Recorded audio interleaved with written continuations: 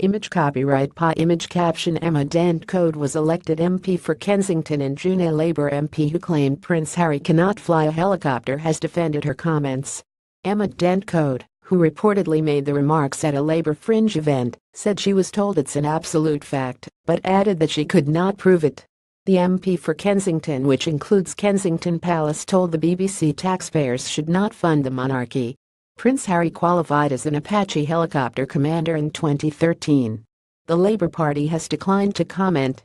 The MP, who was elected in June, told the BBC's Daily Politics somebody else will tell me whether or not that's true, but I've been told that's an absolute fact, that somebody sits beside him and drives the helicopters for him. John Woodcock, former chairman of Labour's Backbench Defence Committee, issued a statement saying the highly inaccurate comments did not reflect the views of his party. He said the prince deserved praise and respect for his service in the armed forces. I'm really sorry this happened, he added. Kensington Palace has not commented.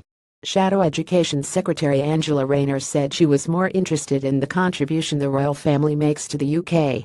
We have different views in the Labour Party, but I actually think Prince William and Prince Harry have made the royal family more trendy again. I think there is a role for them they're part of the staple British diet, she told the BBC. Prince Harry served in the army for 10 years, undertaking two tours of Afghanistan, Harry is currently in Toronto for the Invictus Games the sporting tournament for injured service personnel that he founded in 2014. Defense Minister Tobias Ellwood invited Ms. Dent Coad to go the games, adding learn how it started and who inspires our injured heroes.